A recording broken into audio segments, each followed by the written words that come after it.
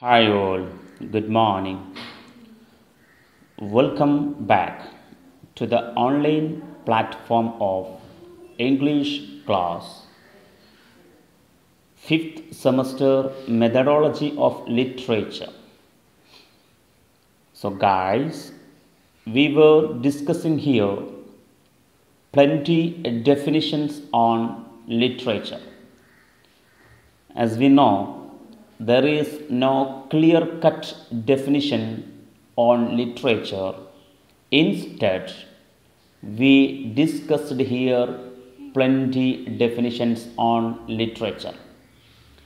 And one more thing, I hope you done it well and very good clear cut. Okay, am I right? Good. So, guys, today itself, I want to introduce one more introduction on literature. So, let us proceed. What is literature and something? Got it? Good. ഒരിക്കൽ കൂടി നിങ്ങൾക്ക് online ക്ലാസ്സിലേക്ക് സ്വാഗതം ചെയ്യുന്നു കഴിഞ്ഞ ക്ലാസ്സിൽ നമ്മൾ discuss ചെയ്തതുപോലെ തന്നെ നിരവധി ഡെഫിനിഷനുകളാണ് ലിറ്ററേച്ചറിനെ കുറിച്ച് നമ്മൾ ചർച്ച ചെയ്തത്. ഓക്കെ ഇന്ന് ഒരു ഡെഫിനിഷൻ കൂടി നിങ്ങൾ ലിറ്ററേച്ചറിനെ കുറിച്ച് പഠിക്കാൻ പോവുകയാണ്. കഴിഞ്ഞ ക്ലാസ്സിൽ എടുത്ത ഡെഫിനിഷനുകളൊക്കെ നിങ്ങൾ മനസ്സിൽ ആയിട്ടുണ്ടാകുമെന്ന് വിശ്വസിക്കുന്നതോടൊപ്പം ഒരൊറ്റ ഒരു ഡെഫിനിഷൻ കൂടി നിങ്ങൾക്ക് ലിറ്ററേച്ചറിനെ കുറിച്ച് ഇവിടെ വിശദമാക്കുകയാണ്. So guys let's proceed right now തുടങ്ങല്ലേ നിങ്ങൾ നിങ്ങളില്ലേ? ഉണ്ടാ തുടങ്ങല്ലേ? Okay guys so what is literature എന്താണ് ലിറ്ററേച്ചർ നമുക്കതിന്റെ ഒരു ഡെഫിനിഷൻ കൂടി നോക്കാം. All of you come on read on together literature is an area of human experience that lies beyond the scope of definitions എങ്ങനെയാണ്? Once again literature is an area of human experience that lies beyond the scope of definitions good it okay നമുക്ക് അതിന്റെ അർത്ഥം പറഞ്ഞു നോക്കാം. എന്താണ് literature literature എന്ന് പറഞ്ഞാൽ അത് ഹ്യൂമൻ എക്സ്പീരിയൻസിന്റെ ഒരു ഏരിയയാണ് മനുഷ്യ അനുഭവങ്ങളുടെ ഒരു തലമാണ് ലിറ്ററേച്ചർ എന്ന് പറഞ്ഞാൽ. മനുഷ്യർക്ക് ഒരുപാട് അനുഭവങ്ങൾ ഉണ്ടാവുമല്ലോ. ആ അനുഭവങ്ങളുടെ ഒരു ഏരിയയാണ് ലിറ്ററേച്ചർ എന്നതുകൊണ്ട് ഉദ്ദേശിക്കുന്നത്. That lies beyond the scope of definitions എന്നുള്ളതാണ്.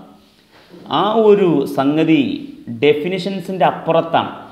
നമുക്ക് അത് എങ്ങനെയാണ് എന്ന് നമുക്ക് നിർവചിക്കാൻ സാധ്യമല്ലാത്ത രൂപത്തിൽ അനിർവചനീയമായ രൂപത്തിൽ മനുഷ്യന്റെ എക്സ്പീരിയൻസുകൾ അതിന്റെ ഒരു ഏരിയക്കാണ് ലിറ്ററേച്ചർ എന്ന് പറയുന്നത് എന്നും ഒരു ഡെഫിനിഷൻ ഉണ്ട്. ഗോട്ട് ഇറ്റ് ഇനി ഏതൊക്കെയാണ് മനുഷ്യന്റെ ആ എക്സ്പീരിയൻസിന്റെ തലങ്ങൾ എന്ന് നമുക്ക് നോക്കാം. ഒന്ന് ഇമോഷണൽ ആവാം. മനുഷ്യന്റെ അനുഭവങ്ങളൊന്ന് ഇമോഷണൽ ആവാം.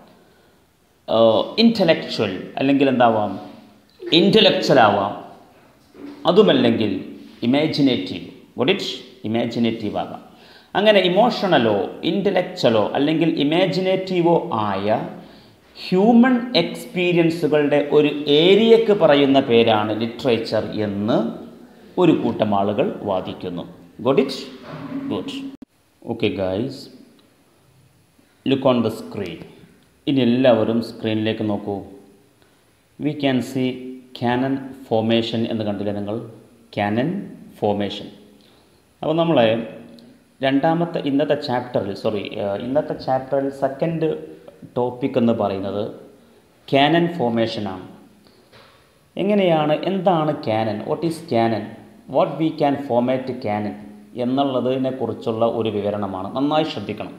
ഓക്കെ ക്യാനൻ ഈ ഒരു ടോപ്പിക്കിൽ ദാറ്റ് മീൻസ് ഈ ഫസ്റ്റ് മൊഡ്യൂളിൽ ഇന്നലത്തെ ചർച്ചയ്ക്ക് ശേഷം നമ്മൾ ഇന്ന് പ്രധാനമായും ചർച്ച ചെയ്യുന്നൊരു വിഷയം ശ്രദ്ധിക്കാം ലിറ്ററേച്ചർ കഴിഞ്ഞതിന് ശേഷം meaning of the word canon canon formation literary canon and biblical canon Indian writing in English, Indian writing in English, Anglo Indian writing, American literature, African literature, Canadian literature. ഇത്രയും സംഭവങ്ങളാണ് നമ്മൾ ഇന്നത്തെ ഈ ടോപ്പിക്കിൽ ചർച്ച ചെയ്യാൻ ഉദ്ദേശിക്കുന്നത്. Okay. So I need both your body and mind here. Okay? Okay let's proceed നമുക്ക് തുടങ്ങാം.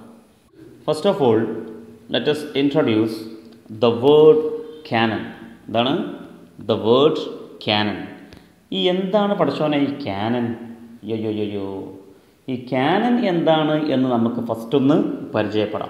ക്യാനൻ എന്ന് കേൾക്കുമ്പോൾ നമ്മൾ എന്ത് ചെയ്യേണ്ട? വല്ലാണ്ട് അവലാതിയൊന്നും ആവണ്ട. ആശങ്കക്കിടയില്ലാത്ത രീതിയിൽ നമുക്ക് ഹാൻഡിൽ ചെയ്യാവുന്ന വിഷയമുള്ളൂ ക്യാനൻ കേട്ടോ?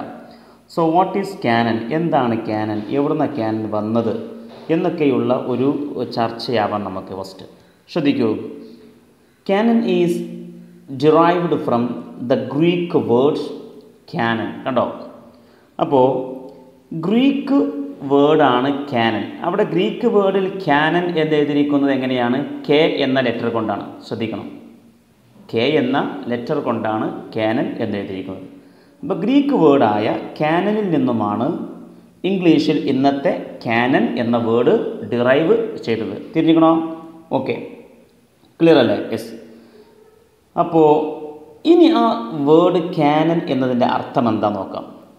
Canon means a measuring rod a measuring rod or a scale എന്നർത്ഥം. അളവ് കോൽ എന്ന് പറഞ്ഞാൽ നമ്മൾ അളക്കണ കോൽ മെഷറിംഗ് റോഡാണ് അല്ലെങ്കിൽ മെഷറിംഗ് സ്കെയിലാണ് എന്ത്? ക്യാനൻ എന്ന് പറഞ്ഞാൽ. അപ്പോൾ നമ്മളെ അളക്കാണ്. എങ്ങനെ? മീറ്റർ പോലെ ഒരു അളവാണ്. പക്ഷേ ഇത് എന്തിന് യൂസ് ചെയ്യുന്നതാണ്? ഇത് നമ്മുടെ ലിറ്ററേച്ചർ സാഹിത്യത്തെയും പിന്നെ അപ്പം നിങ്ങൾക്ക് ഒരു ഒരു ഒരു ചോദ്യം ഉണ്ടാവും. What is the relation between canon and literature അല്ലേ ഈ ഒരു സാഹിത്യവും ഈ ക്യാനനും തമ്മിൽ പഠിച്ചോനെ എവിടെ പന്ത് ബന്ധ? എന്തു റിലേഷൻ എവിടെ ഉള്ളതെന്നൊരു സംശയം നിങ്ങൾക്ക് ഉണ്ടെങ്കിൽ ആ സംശയം വേണ്ട. കാരണം ക്യാനൻ എന്നുള്ളത് ഒരു അളവ് കോലാണ് എന്ന് നമ്മൾ പറഞ്ഞു. എന്തിനെ അളക്കണത്? എന്തിനെ? അപ്പോൾ നമുക്ക് ഏത് ഭാഷയിലായാലും ഒരുപാട് സാഹിത്യകൃതികൾ ഇഷ്ടം പോലെ ഉണ്ടല്ലോ അല്ലേ? അപ്പോൾ അതിന്റെ മെറിറ്റ് അളക്കാനുള്ള ഒരു അളവ് കോലാണെന്ത് ക്യാനൻ എന്ന് പറയുന്നത്. അതിന്റെ ക്വാളിറ്റി എത്രമാത്രമുണ്ട് അതിന് നമുക്ക് ഹൈ ക്ലാസ്സിൽ ഉപയോഗിക്കാൻ പറ്റുമോ? ഹൈ പ്രൊഫഷനായി കരുതാൻ സാധിക്കുമോ? അല്ലോ അതിനെ ഡിഗ്രേഡ് ചെയ്യണോ? എന്നൊക്കെ തീരുമാനിക്കുന്ന ഒരു അളവ് കോലാണെന്ത് ക്യാനൻ ഇപ്പോൾ ലിറ്ററേച്ചറും ക്യാനനും തമ്മിലുള്ള ബന്ധം മനസ്സിലായി ഞങ്ങൾക്ക് എന്താണ്? ആ ഈ ഒരു എന്താ പറയുക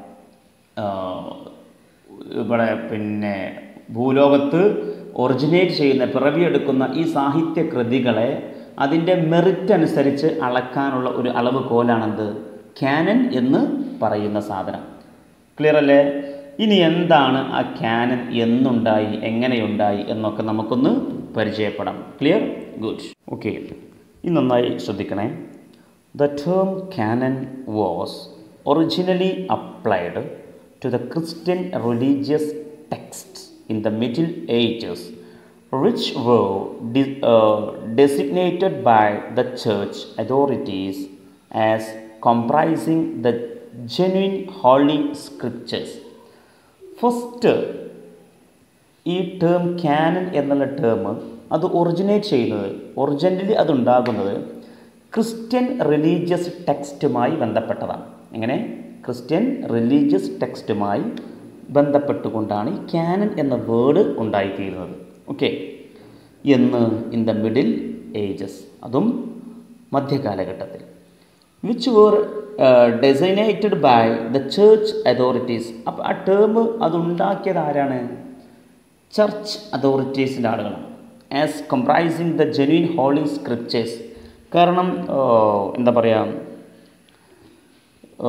ക്രിസ്തു മതത്തിൽ ഉണ്ടായിത്തീരുന്ന റിലീജിയസ് ടെക്സ്റ്റുമായി ബന്ധപ്പെട്ട ഹോളി സ്ക്രിപ്റ്റേഴ്സുമായി ബന്ധപ്പെട്ട വിശുദ്ധ ഗ്രന്ഥവുമായി ബന്ധപ്പെട്ട് ആ ഗ്രന്ഥങ്ങളിൽ അവർക്ക് ഒരുപാട് ഗ്രന്ഥംസ് ഉണ്ടല്ലോ അവിടെ. അപ്പോൾ അതിന്റെ ഒരു ജെന്യൂനിറ്റി അതിന്റെ ഒരു സത്യസന്ധതയും അതിന്റെ മഹത്വവും മെറിറ്റും കണക്കിലെടുത്ത് അതിനെ ക്യാനനായി ഉൾപ്പെടുത്താൻ പറ്റുമോ?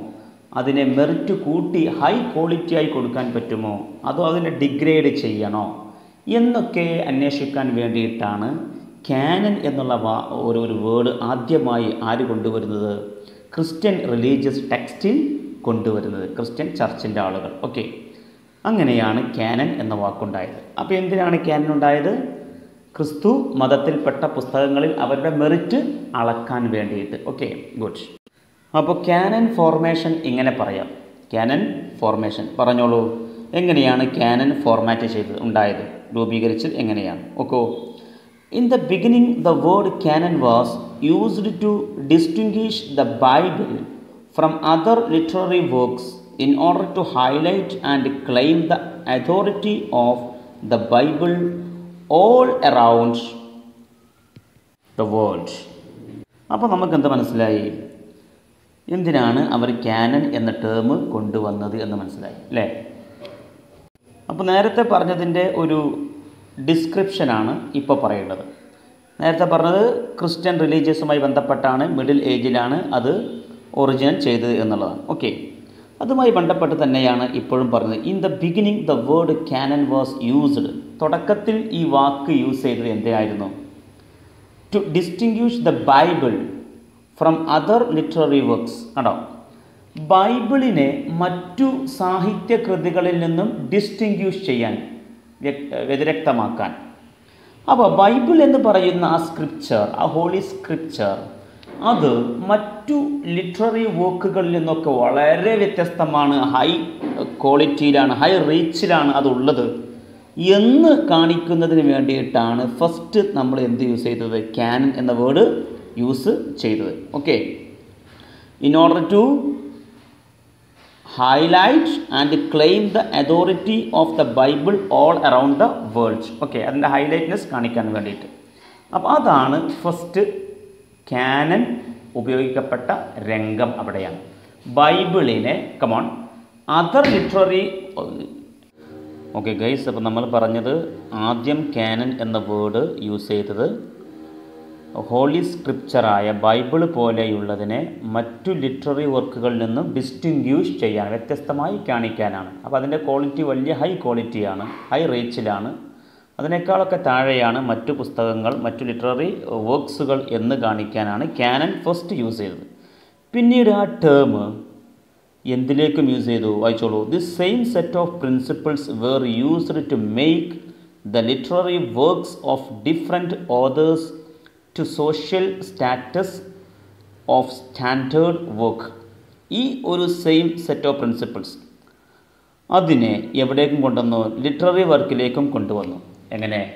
ലിറ്റററി വർക്കിലുള്ള ഡിഫറെന്റ് പുസ്തകങ്ങളിൽ അതിലേറ്റവും ഹൈ പിച്ചിലുള്ളത് ഏതാണ്? ഹൈ ക്വാളിറ്റി ഏതാണ്? ഹൈ റീച്ച് ഏതാണ്? എന്നൊക്കെ ഒരു വിഭാഗം ആളുകൾ അതിനെ ക്യാനൻ ചെയ്ത് മെഷർ ചെയ്ത് കണ്ടെത്തി അതിനെ ഒരു കനോണിക്കൽ ലിസ്റ്റിൽ ഉൾപ്പെടുത്തി. അത് വലിയതാക്കി മാറ്റി. അപ്പോൾ ഒരു കൂട്ടം ആളുകളാണ് എന്ത് ചെയ്യുന്നത്?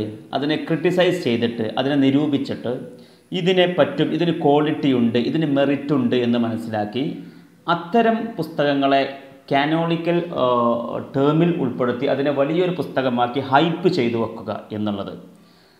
ആ ഒരു വേർഡ് ക്യാനൻ എന്നുള്ള ടേം പിന്നീട് യൂസ് ചെയ്തത് ലിറ്റററി ടെക്സ്റ്റുകളിലാണ് ഓക്കെ ഫസ്റ്റ് നമ്മൾ കണ്ടു ഹോളി സ്ക്രിപ്ചറായ ബൈബിളിൽ വ്യത്യസ്തമാക്കാനാണ് അതിനെ കൊണ്ടുവന്നത്. പിന്നീട് അതിനെന്ത് കൊണ്ടുവന്നു? Later വൈക്കൂ later later the term was used in literature പിന്നീട് ആ ടേം എന്ത് ചെയ്യപ്പെട്ടു? ലിറ്ററേച്ചറിൽ യൂസ് ചെയ്തു.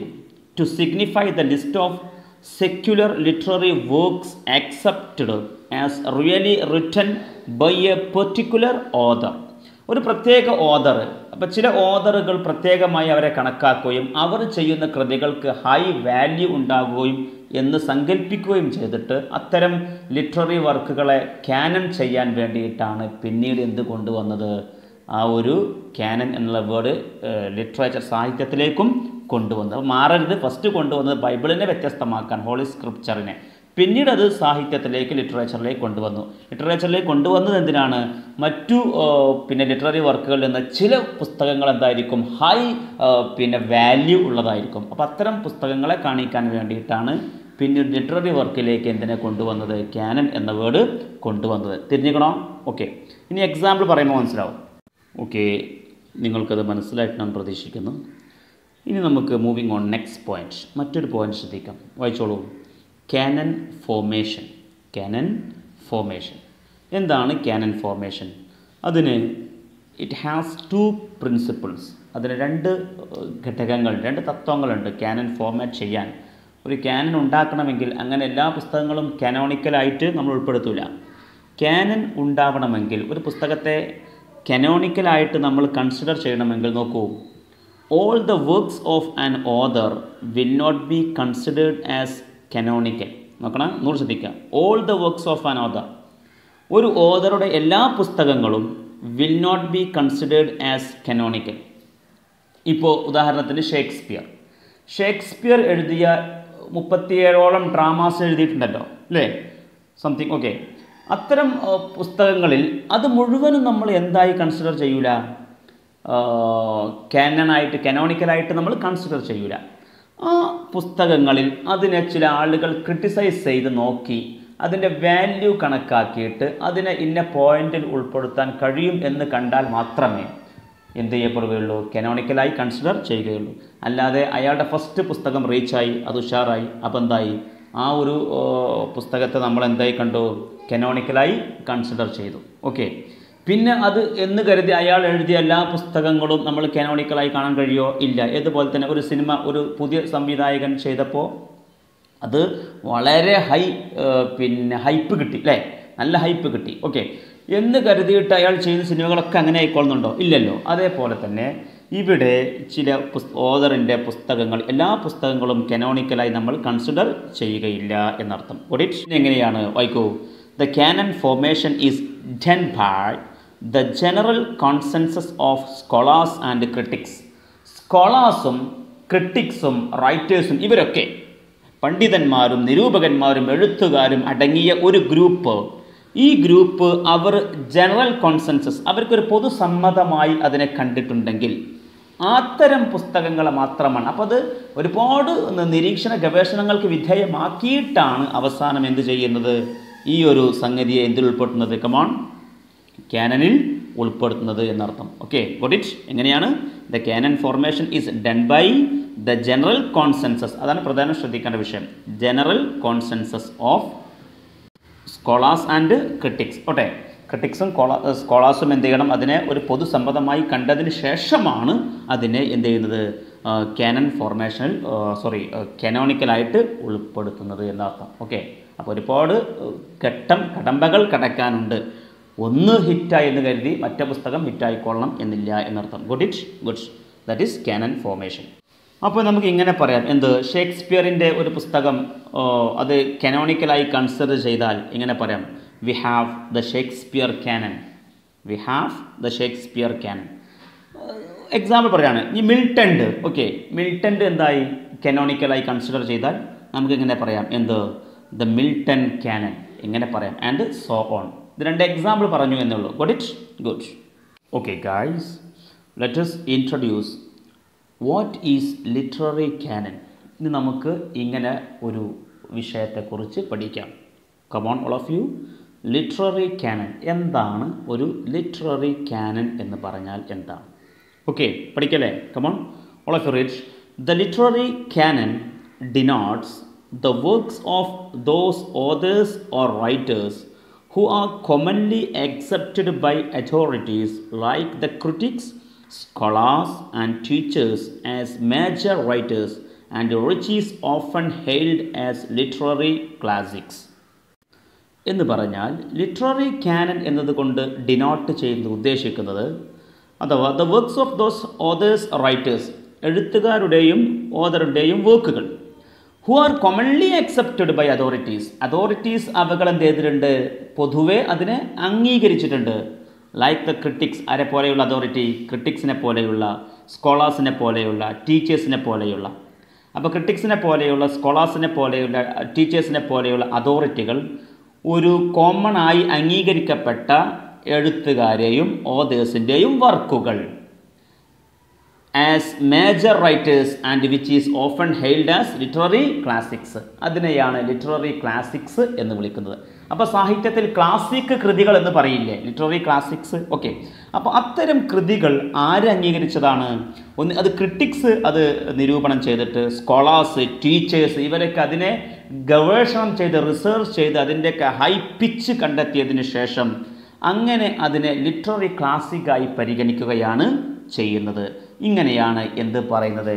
ലിറ്റററി കാനൻ എന്ന ഫ്രൈസ് ഡിനോട്ട് ചെയ്യുന്നത് എന്നർത്ഥം. അപ്പോൾ this is literary canon what is literary canon ചോദിച്ചാൽ ഇതാണ് അതിന്റെ ആൻസർ ഗുഡ് ഇറ്റ് ഗുഡ് അപ്പോൾ നമ്മൾ ലിറ്റററി കാനൻ എന്താ എന്ന് കണ്ടു. ഓക്കെ നമുക്ക് പഠിക്കാം. Who are the canonical writers ആരാണ് കനോണിക്കൽ റൈറ്റേഴ്സ് കനോണിക്കൽ റൈറ്റേഴ്സ് ആരാന്ന് ചോദിച്ചാൽ ആൻസർ ഇങ്ങനെയാണ്. വായിച്ചോളൂ. The canonical writers are the ones who at a particular time are the most published, most discussed by critics and likely to be included in the curriculum. Got it? One second വായിക്കൂ the canonical writers are the one അവരാരാണ് who at a particular time ഒരു പ്രത്യേക കാലക സമയത്ത് are the most published കൂടുതൽ publish ചെയ്യപ്പെടുകയും most discussed by critics ക്രിട്ടിക്സിനാൽ അതിന് കൂടുതൽ ചർച്ച ചെയ്യപ്പെടുകയും and likely to be include in the curriculum അതിനെ കരിക്കുലത്തിൽ ഉപയോഗിക്കപ്പെടുകയും ചെയ്യും. ഇവിടെ അക്കാഡമിക് കാര്യങ്ങളിലൊക്കെ ഉപയോഗിക്കുന്ന പുസ്തകങ്ങളൊക്കെ ഉണ്ടല്ലോ. അത്തരം പുസ്തകങ്ങളിൽ അതിനെ ക്രിട്ടിക്സ് എന്ത് ചെയ്തിരിക്കുന്നു? കൂടുതൽ ഡിസ്കസ് ചെയ്തതിന് ശേഷമാണ് അതിനെ അക്കാഡമിക് അഥവാ സ്കൂളുകളിലും കോളേജുകളിലൊക്കെ പഠി പാഠ്യ വിഷയമായി അതിനെ പരിഗണിക്കുകയും ചെയ്ത എഴുത്തുകാർക്ക് പറയുന്ന പേരാണ് കനോണിക്കൽ റൈറ്റേഴ്സ് എന്ന്. അവരുടെ അത്തരം പുസ്തകങ്ങളുടെ എഴുത്തിന്റെ ഓതേഴ്സ് ഉണ്ടല്ലോ. അവർക്ക് പറയുന്ന പേരാണ് കനോണിക്കൽ റൈറ്റേഴ്സ് ഗോഡ് ഇറ്റ് അപ്പോൾ who are the canonical writers ചോദിച്ചാൽ ഇതാണ് അതിന്റെ answer got it good okay guys moving on next point more points about canon formation once again more points about canon formation canon formation കുറിച്ചുള്ള കൂടുതൽ പോയിന്റ്സുകൾ നോക്കൂ. ഇങ്ങനെ വായിക്കും. Come on after renaissance canon formation became widespread as English literature gained and intellectual standard ഒരു point എന്ന് പറഞ്ഞാൽ Canon formation അത് കൂടുതൽ വൈഡ് സ്പ്രെഡായത് പ്രചുരപ്രചാരം നേടിയത് എന്തിനു ശേഷമാണ്?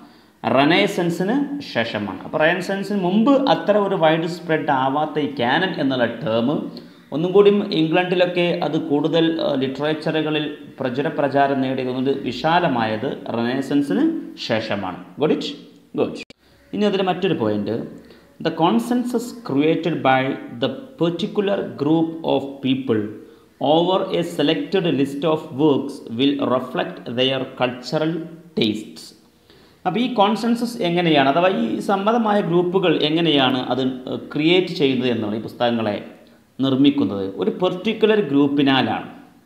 അവർ സെലക്ട് ചെയ്യും. ഒരു പെർട്ടിക്കുലർ ഗ്രൂപ്പാണ്. ഒരു കൂട്ടം ആളുകളാണ്. അവർ ക്രിട്ടിക്സ് ആവാം സ്കോളേഴ്സ് ആവാം റൈറ്റേഴ്സ് അല്ലേ ഇവർ ആണ് ആ പുസ്തകത്തെ തീരുമാനിക്കുന്നത് ഡിസൈഡ് ചെയ്യുന്നത്. എങ്ങനെ? എന്തിന്റെ പേരിലൊക്കെ തീരുമാനിക്കും? നോക്കൂ. It's mainly based on race class gender കേട്ടോ അന്നത്തെ കാലഘട്ടത്തെ കുറിച്ചാണ് പറയുന്നത്. അത് ഒന്നുകിൽ റേസിന്റെ മേലിൽ അല്ലെങ്കിൽ ക്ലാസ് നോക്കി ജെൻഡർ നോക്കിയിട്ടൊക്കെ അവർ കൊടുക്കും. നമുക്കറിയാം പണ്ട് കാലങ്ങൾക്കൊന്നും സ്ത്രീകൾക്ക് എഴുതാൻ തന്നെ ഒരു ചാൻസ് ഉണ്ടായിരുന്നില്ല. ഒന്ന് എഴുതാൻ പോലും അവർക്ക് ഒരു ചാൻസും ഉണ്ടായിരുന്നില്ല. ആ ഒരു കാലത്താണ് എന്ത് പ്രത്യക്ഷപ്പെടുന്നത്? ഫെമിനിസം എന്ന് പറയുന്ന ഒരു ടേം രംഗപ്രവേശം ചെയ്യുകയും സ്ത്രീകൾക്ക് വേണ്ടി വാദിക്കുന്ന ഒരു കൂട്ടർ ഉണ്ടാവുകയും ചെയ്തത് ആ കാലഘട്ടത്തിലാണ്. ഓക്കെ അപ്പോൾ പറഞ്ഞു വന്നത് എന്താണെന്ന് വെച്ചാൽ റേസിന്റെ ബേസ് ചെയ്തുകൊണ്ട് ആളുകൾ പിന്നെ അയാളുടെ പുസ്തകം അത് ആഫ്രിക്കക്കാരൻ എഴുതിയതാണ് അവന്റെ വേണ്ട. അങ്ങനെ തള്ളിയിരുന്ന കാലഘട്ടം ഉണ്ടായിരുന്നു. കാരണം അവർ പ്രൈമറി പീപ്പിളായി പരിഗണിക്കുകയേ ചെയ്തിട്ടില്ല. അവരൊക്കെ സെക്കൻഡറിയാണ് അല്ലേ? അപ്പോൾ ഇംഗ്ലണ്ടിലെ ആളുകൾ മാത്രമാണ് മെയിൻ ആളുകൾ. അതേഴ്സ് ബാക്കിയുള്ളവരൊക്കെ ആരാണ്? അവർ കൊളോണിയലിസ്റ്റുകളാണ്. അപ്പോൾ അവർ പിന്നെ കോളനിവൽകൃത ജനങ്ങളാണ്. അതൊക്കെ ഞങ്ങളുടെ അടിമകളാണ്. അവ മറ്റുള്ളവരെ എഴുത്തൊന്നും എന്ത് ചെയ്യില്ല ഞങ്ങൾ പരിഗണിക്കുകയില്ല എന്ന് കരുതിയ ഒരു കൂട്ടർ ഉണ്ടായിരുന്നു ഇംഗ്ലണ്ടുകാർ അപ്പോൾ അതുകൊണ്ട് അവർ മെയിന്റെയിൻ ആരെ മാത്രമാണ്? ഇംഗ്ലണ്ടിലെ ജനങ്ങളെ മാത്രമാണ്. അതുകൊണ്ട് തന്നെ റൈസിന്റെ പേരിൽ അവർ പുസ്തകത്തെ കാനോണിക്കലായി പരിഗണിക്കൂല. അതേപോലെ ക്ലാസ് നോക്കും ജെൻഡർ നോക്കും. ജെൻഡർ നോക്കുക സെക്സ് അതായത് മെയിൽ ഓർ ഫീമെയിൽ. അല്ലേ അപ്പോൾ ഫീമെയിലിന്റെ പുസ്തകമാണെങ്കിൽ ഒരു നിലക്കും എന്ത് ചെയ്യില്ല. അവർ പരിഗണിക്കില്ല അത്രയും കാലഘട്ടത്തിലാണ് ഞാൻ ഈ പറഞ്ഞ ഫെമിനിസം ഒറിജിനേറ്റ് ചെയ്തത്. ഓക്കെ ക്ലിയർ ആണല്ലോ? ഗുഡ് ഇതുകൊണ്ട് ഇപ്പം എന്തുണ്ടായി എന്ന് പറഞ്ഞാൽ ഇങ്ങനെ ഒരു ബേസ് ഒരു അടിസ്ഥാനം നോക്കി ഇവർ പുസ്തകങ്ങളെ കനോണിക്കലായി കൺസിഡർ ചെയ്തപ്പോൾ എന്ത് സംഭവിച്ചു? വായിച്ചോളൂ. As a result of this a lot of works were excluded from the canon especially writings by women and blacks കണ്ടോ? എന്ത് സംഭവിച്ചു? ഇതിന്റെ ഫലമായിട്ട് കാരണം ഇവർ ആധാരമായി എടുക്കുന്നത് ജെൻഡറിനെ നോക്കുന്നു പിന്നെ റേസ് നോക്കുന്നു ക്ലാസ് ഒക്കെ നോക്കുന്നു. അങ്ങനത്തെ ഒരു ഹൈ ക്ലാസ് ഉള്ള ആളുകളെ മാത്രമല്ല ലോ ക്ലാസ് ഉള്ള ആളുകളെ അവർ മെയിന്റെയിൻ ചെയ്യുന്നില്ല. അങ്ങനെയാണായിരുന്നു ഒരു കാലത്ത് ഇംഗ്ലണ്ടിലെ ലിറ്ററേച്ചറിന്റെ അവസ്ഥ. പിന്നീട് അതൊക്കെ മാറി വന്നതാണ്. ഓക്കെ ശ്രദ്ധിക്കാം. അപ്പോൾ as a result of this ഇതിന്റെ ഒരു ഫലമായിട്ട് a lot of works were excluded നല്ല ക്വാളിറ്റിയുള്ള നല്ല നിലവാരമുള്ള ഒരുപാട് വർക്കുകൾ കൃതികൾ എക്സ്ക്ലൂഡഡ് എന്ത് ചെയ്യപ്പെട്ടു? പുറന്തള്ളപ്പെട്ടു. ഫ്രം ദ കാനൻ ഈ കാനൻ പദവിയിൽ നിന്നും. Especially writing by women and blacks പ്രത്യേകിച്ചും ആരുടെ? സ്ത്രീകളുടെ. ബ്ലാക്സ് കറുത്ത വർഗക്കാരുടെ. കറുത്ത വർഗക്കാരുടെ സ്ത്രീകളുടെ. ഇവരുടെയൊക്കെ ഒറ്റ ഹൈ പിച്ച് കിട്ടേണ്ട നല്ല നിലയിൽ റീച്ചിൽ എത്തേണ്ട പുസ്തകങ്ങൾ വരെ എക്സ്ക്ലൂഡ് ചെയ്യപ്പെട്ടു തള്ളപ്പെട്ടു. എന്തിന്റെ പേരിൽ കാരണം ഇവർ റേസാണ് നോക്കുന്നത് ഇവർ ജെൻഡറാണ് നോക്കുന്നത് ഇവർ ക്ലാസ്സാണ് നോക്കുന്നത്. അതുകൊണ്ട് നല്ല പുസ്തകം ആണോ എന്നൊന്നും അവർ വിലയിരുത്തോ ഇല്ല. ഓക്കെ അങ്ങനെ ഒരുപാട് ആളുകൾ ക്യാനൻ ലിസ്റ്റിന് തഴയപ്പെട്ട ചരിത്രം ഉണ്ടായിട്ടുണ്ട് എന്നർത്ഥം. അതാണ് ഇതിന്റെ ഒരു ഫലമായി ഉണ്ടായിത്തീർന്ന ഒരു സംഗതി. കൊടിറ്റ് ഈ ഒരു കൊലച്ചതിയിൽ നിന്നും എസ്കേപ്പ് ചെയ്യാൻ വേണ്ടിയിട്ട് സ്ത്രീകൾക്ക് എങ്ങനെയെങ്കിലും അവരുടെ റൈറ്റ് എന്ത് ചെയ്യണം? ഈ ഭൂലോകത്തെ പിറവിയെടുത്തതായി കാണണം. ഞങ്ങൾ എഴുതിയ പുസ്തകങ്ങളൊന്ന് അതൊന്ന് പബ്ലിഷ് ചെയ്ത് കാണാൻ ഓരോ ആർക്കും ഒരു സംതൃപ്തി ഉണ്ടാകുമല്ലോ അതിന്റെ പേരിൽ സ്ത്രീകൾക്ക് ഞങ്ങൾക്ക് എന്ത് വേണ്ട? ഫെയിം പ്രശസ്തി കിട്ടിയില്ലെങ്കിലും വേണ്ട. ഈ പുസ്തകം ഒന്ന് എന്ത് ചെയ്താൽ മതി? ഒന്ന് പബ്ലിഷ് ചെയ്ത് കിട്ടിയാൽ മതി. എന്ന അടിസ്ഥാനത്തിൽ വായിച്ചോളൂ. എന്ന അടിസ്ഥാനത്തിൽ എന്താണ്ടായത് due to social prioritization come on due to social prioritization of literary works many women writers wrote under the pseudonym of male writers കണ്ട? എന്താ പറയുക ഉണ്ടായത് ഈ സ്ത്രീകൾക്ക് തങ്ങളുടെ പുസ്തകം പബ്ലിഷ് ചെയ്തേ പറ്റൂ. അതുകൊണ്ട് ഞങ്ങൾക്ക് ഫെയിം എന്ന് പറഞ്ഞ പ്രശസ്തിയേ വേണ്ട. ഞങ്ങളുടെ പുസ്തകം വെളിച്ചം കാണണം എന്ന ഒറ്റ കാരണം കൊണ്ട് ഈ ഒരു സ്ത്രീകൾ എന്ത് ചെയ്തു? ഇത്തരം എക്സ്ക്ലൂഡ് ചെയ്യപ്പെട്ട പുറന്തള്ളപ്പെട്ട സ്ത്രീകൾ അവർ റൈറ്റിങ്ങിൽ എഴുതാൻ വേണ്ടി under the pseudonym of male writers അവർ എന്ത് പേര് കൊടുത്തു? ആൺ പേരുകൾ. ദാറ്റ് മീൻസ് എഴുതിയ ആൾ ആരായിരിക്കും? ആണിന്റെ പേര് കൊടുക്കും. ഏതെങ്കിലും ആണിന്റെ പേര് വെച്ച് കൊടുക്കും. ഈ പേരിലായിരിക്കും ആ പുസ്തകങ്ങൾ പിന്നീട് എന്ത് ചെയ്യുക? പ്രസ് പിന്നെ പബ്ലിഷ് ചെയ്യപ്പെടുക. അപ്പോൾ ഇവിടെ നേരത്തെ ഒറിജിനൽ റൈറ്റർ ആരുണ്ട് ഒരു സ്ത്രീ ഉണ്ട് ആ സ്ത്രീ ആരെ അറിയോ? ഇല്ല. പിന്നീട് ആളുകൾ കണ്ടെത്തുകയാണ് ഇത് ഇന്നയാൾ എഴുതിയ എന്നുള്ളത്. നോക്കൂ ഒരു ഉദാഹരണം. ജോർജ് എലിയറ്റ് അല്ലേ? ജോർജ് എലിയറ്റിന്റെ പുസ്തകം. സോറി ജോർജ് എലിയറ്റ് എന്ന പേരിലാണ് ആൻ മേരി ആൻ ഇവാൻസ്. കണ്ടോ? ഇവിടെ മൂന്ന് എക്സാമ്പിൾ കൊടുത്തിരിക്കുന്നത്. സ്യുഡോണിം മെയിൽ റൈറ്റേഴ്സ് ആൺ ആൺ പിന്നെ ആണുങ്ങളുടെ പേര് വെച്ച് പുസ്തകം എഴുതിയ മൂന്ന് പെണ്ണുങ്ങൾ. ഒന്നാരാണ്? George Eliot. ജോർജ് എലിയറ്റ് എന്ന് കേൾക്കുമ്പോൾ ആ ആ ആ ഇതൊരാണെന്ന് തോന്നും. എന്നതാണല്ല അതാരാണ്? അത് അവളുടെ യഥാർത്ഥ പേര് മേരി ആൻഡ് ഇവാൻസ് എന്താണ്? മേരി ആൻഡ് ഇവാൻസ് അതാണ് ഒരാൾ ഇനി സെക്കൻഡ് ആൾ നോക്കൂ. ഒരു ടിൻസാണ് കറന്റ് ബെൽ ആരാണ്? കറന്റ് ബെൽ അതാണ് യഥാർത്ഥ പേര്. അതല്ല അതാണ് ആണിന്റെ പേര്. അവളുടെ പേര് ചാരിയറ്റ് ബ്രോൺട്ടെ ചാരിയറ്റ് ബ്രോൺട്ടെ എന്നുള്ള പേരിലാണ് അവൾ അറിയപ്പെടുന്നത്. പക്ഷേ അവൾ എഴുതാൻ ഉപയോഗിച്ച പെൻ നെയിം എന്താണ്? കറന്റ് ബെൽ എന്ന ആണിന്റെ പേരാണ്. ഓക്കെ മൂന്നാമത്തെ ഉദാഹരണം. എല്ലിസ് ബെല്ലാണ് എല്ലിസ് ബെൽ എന്നാണ് അവൾ എഴുതാൻ ഉപയോഗിച്ചത്. അവളുടെ ഒറിജിനൽ നെയിം എന്താണ്? എമിലി ബ്രോൺട്ടെ എന്നാണ്. കണ്ടോ? ഈ ടിൻസുകൾ ഇവരെന്ത് ചെയ്തു? ഇവർ രണ്ട് ആണിന്റെ പേര് യൂസ് ചെയ്തു. ഓക്കെ ഇങ്ങനെ മൂന്ന് ആൾ മൂന്ന് ആണാണെന്ന് തോന്നുന്ന പേ ആളുകൾ. പക്ഷേ ഇവർ നേർക്കാരായിരുന്നു സ്ത്രീകളായിരുന്നു. ഇവർക്ക് പിന്നീട് കണ്ടെത്തിയതാണ് ഇവർ സ്ത്രീകളായിരുന്നു എന്നുള്ളത്. ഓക്കെ യെസ് അപ്പോൾ അവരുടെ എഴുത്ത് ഒന്ന് പബ്ലിഷ് ചെയ്ത് കിട്ടാൻ വേണ്ടി ഇവർ ചെയ്ത ഒരു പണിയാണിത്. Okay good guys moving on next point എന്ന് പറഞ്ഞത് പ്രത്യേക പ്രധാനപ്പെട്ട പോയിന്റാണ് ശ്രദ്ധിക്കുക അപ്പോൾ എന്തുണ്ടായി? ചില പുസ്തകങ്ങൾ എക്സ്ക്ലൂഡ് ചെയ്തു എന്ന് പറഞ്ഞല്ലോ അല്ലേ? കാരണം അവർക്ക് ചില താല്പര്യങ്ങളുണ്ടായിരുന്നു സംരക്ഷിക്കാൻ. ആ താല്പര്യങ്ങൾക്കനുസരിച്ചായിരുന്നു അവർ ക്യാനൻ ഉൾപ്പെടുത്തിയത്. എന്നാൽ ഇനി പറയുന്ന പോയിന്റ് നോക്കൂ. At present canon formation is much more democratic and it is not a static process അതൊരു സ്റ്റാറ്റിക്കായൊരു പ്രോസസ്സ് അല്ല ഇപ്പോൾ ക്യാനൻ കൺസിഡറേഷൻ അല്ലെങ്കിൽ ക്യാനൻ ഫോർമേഷൻ എന്നുള്ളത്. ഈ ഒരു കാലഘട്ടത്തിൽ at a present canon formation is much more democratic ആണ്. ഒന്നുകൂടി ജനകീയമായിരിക്കുന്നു പോപ്പുലർ ആയിരിക്കുന്നു എന്നർത്ഥം. എന്ന് പറഞ്ഞാൽ എന്താണ്? പണ്ട് ഒരു ഗ്രൂപ്പ് ഓഫ് പീപ്പിൾ മാത്രം ഡിസൈഡ് ചെയ്തതായിരുന്നു. അതെങ്ങനെയാവണം എങ്ങനെയാവണം. അവരുടെ ഒരു പിന്നെ ടേസ്റ്റിനനുസരിച്ച് മാത്രമേ അവർ ചെയ്യുള്ളൂ. അവർ ആധാരപ്പെടുന്നത് ബേസ് എന്തായിരുന്നു? ജെൻഡർ ക്ലാസ് പിന്നെ റേസ് ഒക്കെ ആയിരുന്നു അല്ലേ? ഇന്ന് ഇന്നത്തെ കാലഘട്ടത്തിൽ അതിൽ നിന്നൊക്കെ മാറിയിട്ട് അത് കൂടുതൽ ജനകീയമായി ജനാധിപത്യ രീതിയിലായി ക്യാനൻ ഉദാഹരണം പറയുകയാണെങ്കിൽ വായിക്കൂ. The systems and principles of canon change with time കാലഘട്ടത്തിനനുസരിച്ച് ക്യാനന്റെ സിസ്റ്റവും എന്തായി? ചേഞ്ചായി കാലഘട്ടത്തിനനുസരിച്ച് ക്യാനന്റെ സിസ്റ്റവും ചേഞ്ചായി ഒരു എക്സാമ്പിൾ നോക്കൂ. എക്സാമ്പിൾ നോക്കൂ. The work waiting for Godots waiting for Godot എന്ന് പറയുന്ന പുസ്തകം was first excluded from the canon അത് ക്യാനലിൽ നിന്ന് ആദ്യം പുറന്തള്ളപ്പെട്ടിരുന്നു. അത് ആദ്യം അതിൽ ഉൾപ്പെടുത്തിയിരുന്നില്ല. കനോണിക്കൽ റൈറ്റേഴ്സിന്റെ കൂട്ടത്തിൽ ഉൾപ്പെടുത്തിയിരുന്നില്ല. കാരണം ഒരു കൂട്ടം ഗ്രൂപ്പിന്റെ ഇംഗിതത്തിന് അത് ഇഷ്ടപ്പെട്ടില്ല. അപ്പോൾ അതുകൊണ്ട് അവർ തള്ളി. പക്ഷെ പിന്നീട് ആ കൂട്ടൊക്കെ മാറി കുറച്ച് കഴിഞ്ഞപ്പോൾ ആളുകൾക്ക് തോന്നി ഒന്ന് വായിച്ചു നോക്കി മനസ്സിലാക്കാൻ. അങ്ങനെ ഡെമോക്രാറ്റിക്കായി മാറിയപ്പോൾ ആ പുസ്തകം ലേറ്റർ എന്തായി? അതേ സെയിം പുസ്തകം. ആദ്യം പുറന്തള്ളപ്പെട്ട സെയിം പുസ്തകം പിന്നെന്തായി? ലേറ്റർ. നോക്കൂ. ഇറ്റ് റീഡിഫൈൻഡ് ദ ക്യാനൻ അത് ക്യാനലിലേക്ക് റീഡിഫൈൻ ചെയ്ത് കടന്നു വന്നു എന്നർത്ഥം. കണ്ടാ? ഫസ്റ്റ് അത് കടക്കാതെ അപ്പീലിലൂടെ പോയി നമ്മൾ യുവജനോത്സവ അപ്പീലിലൂടെ പങ്കെടുക്കുമല്ലോ. അതേപോലെ തന്നെ ഈ പുസ്തകത്തിന് ഫസ്റ്റ് ഓഫ് ഓൾ എന്തിൽ ചാൻസ് കിട്ടിയില്ല? അത് എക്സ്ക്ലൂഡ് ചെയ്യപ്പെട്ടു ക്യാനലിൽ നിന്ന്. പിന്നീട് കാലം മാറി കഥ മാറി എന്നൊക്കെ പറഞ്ഞ സമയത്ത് പുതിയ ആളുകൾ രംഗപ്രവേശം ചെയ്യുകയും പഴയ ബേസൊക്കെ മാറുകയും ചെയ്തപ്പോൾ ആ പുസ്തകം എന്തായി? ക്യാനലിൽ ഉൾപ്പെട്ടു എന്നാണ് പറയുന്നത്. അപ്പോൾ കാലഘട്ടത്തിനനുസരിച്ച് എന്ത് ചെയ്തിട്ടുണ്ട്? ക്യാനന്റെ നിയമങ്ങളൊക്കെ മാറി മറിഞ്ഞിട്ടുണ്ട് എന്നർത്ഥം. Got it good okay guys ആ സെയിം പോയിന്റിനെ കണ്ടിന്യൂ ചെയ്തുകൊണ്ട് ഒരു പോയിന്റ് കൂടി വായിച്ചോളൂ. Come on literary canon and biblical canon വായിച്ചേ? Literary canon and biblical canon okay എന്താണ് ലിറ്റററി ക്യാനനും ബിബ്ലിക്കൽ ക്യാനൻ തമ്മിൽ വ്യത്യാസം? നോക്ക്. സിമ്പിളാണ് വായിച്ചോളൂ. The literary canon is come on the literary canon is open കടാ literary canon open ആണ്. അത് ഫോർ എവർ ഓപ്പൺ എപ്പോഴും തുറന്നിട്ട് കിടക്കുകയാണ്.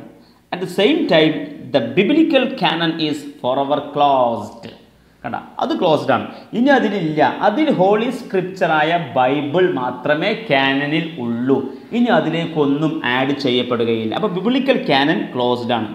ക്ലിയർ ഇതിലേക്കൊന്നും ആഡ് ചെയ്യപ്പെടുകയില്ല.